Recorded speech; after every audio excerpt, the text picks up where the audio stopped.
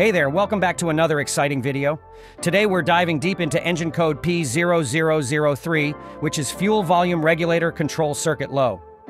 So what exactly does the engine code P0003 mean? Well, it indicates issues with the fuel volume regulator control circuit. Specifically, it indicates that the circuit's voltage is lower than the expected range. This code is commonly found in vehicles equipped with electronic fuel injection systems.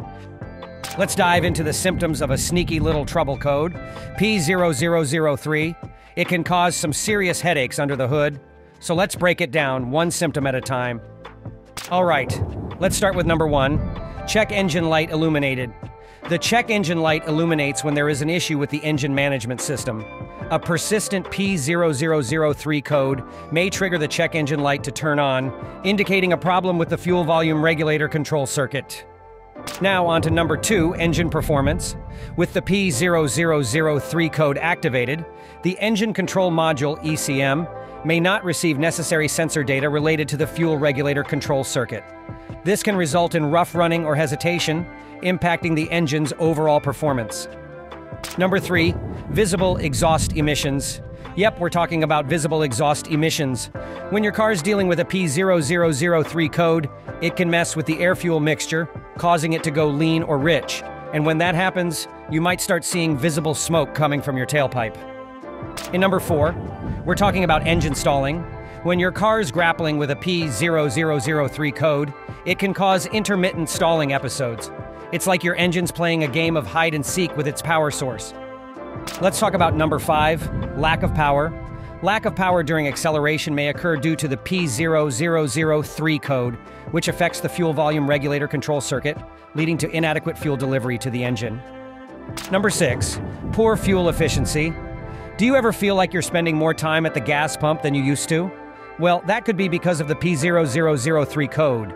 This is because it affects the proper regulation of fuel volume, resulting in wastage or improper fuel utilization, as a result, the engine may not receive the optimal fuel mixture, leading to wastage or improper utilization of fuel. Number 7. Engine crank but not starting.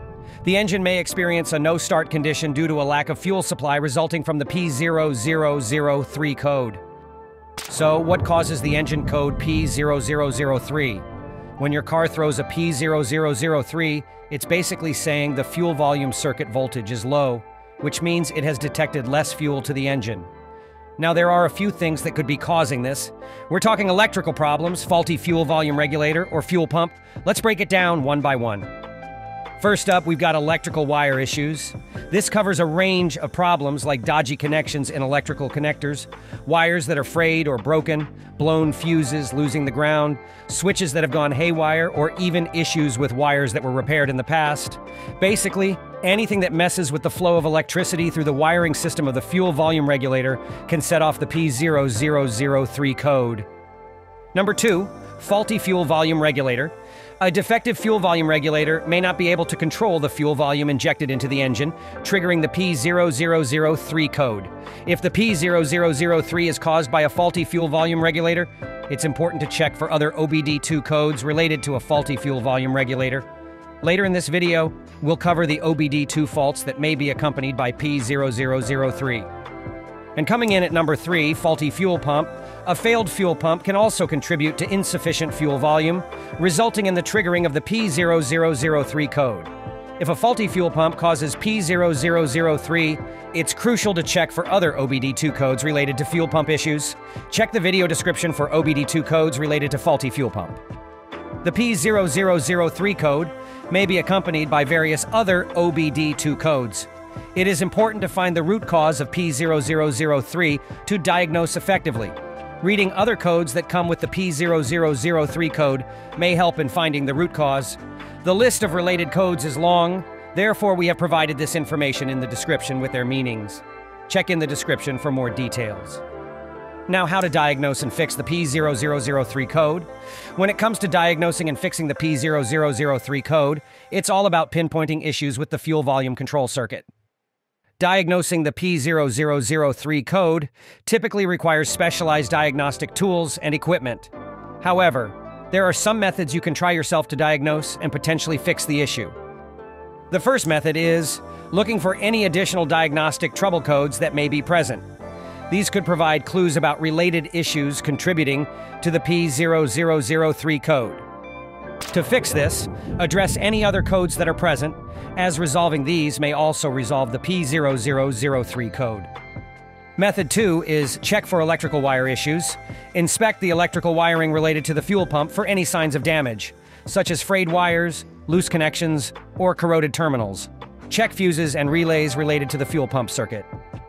Method 3 is inspect the fuel pump, check the fuel pump for any signs of malfunction such as unusual noises, lack of fuel pressure, or leaks. If the fuel pump is found to be faulty, it may need to be replaced. Ensure that the fuel filter is not clogged, as a restricted fuel filter can mimic symptoms of a faulty fuel pump. Finally, to prevent the occurrence of the P0003 code, it's important to implement routine maintenance and take proper care. Here are some preventative measures. Ensure that the fuel filter is replaced at the manufacturer recommended intervals to prevent clogs and restrictions in the fuel system. Use reputable fuel sources and avoid contaminated or low quality fuel that could potentially damage the fuel system components. Periodically inspect the fuel lines, connections, and components for signs of wear, leaks, or damage. Clean any debris or buildup that may accumulate in the fuel system. Ensure the fuse box and associated electrical components are inspected and maintained regularly. Clean any corrosion or buildup that may affect electrical connections and functionality